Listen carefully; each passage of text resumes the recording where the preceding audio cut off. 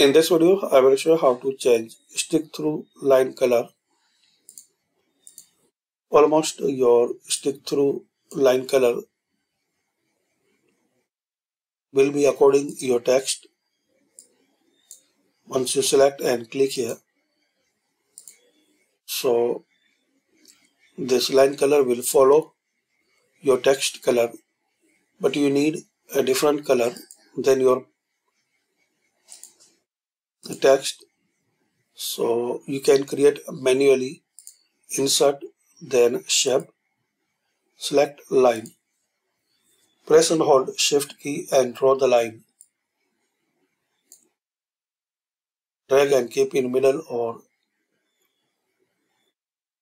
change the color from here. You can change size and thickness